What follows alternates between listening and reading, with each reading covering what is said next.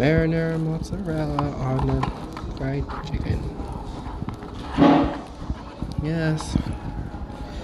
Have those before, but never on a fried chicken. I don't.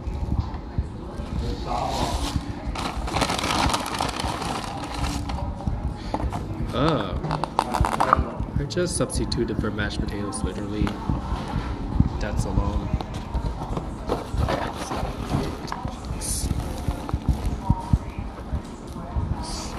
Oh.